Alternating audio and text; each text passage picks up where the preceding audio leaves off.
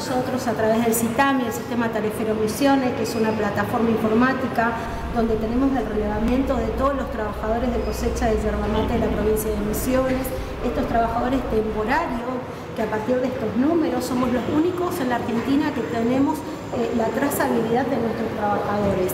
El pago del programa Intercosecha, que es un programa nacional, porque ahora está en el paro de trabajo, se va a realizar a partir del 15 al 22 de noviembre en una primera etapa.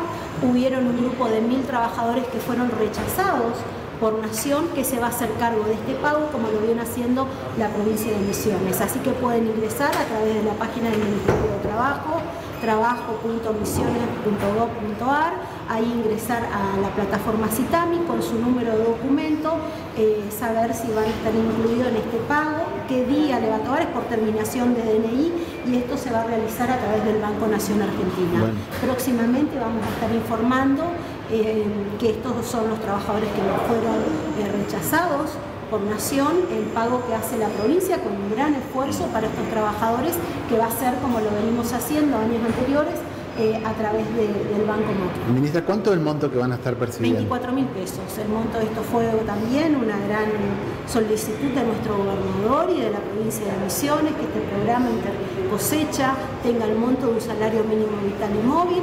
El año pasado se terminó en 10 mil pesos y hoy se consiguió a través de gestiones de nuestro gobernador eh, en que el pago sea de 24 mil pesos a cada trabajador o trabajadora. ¿Se tiene un número de cuántos son, Sí, nosotros tenemos un registro a través del CITAMI.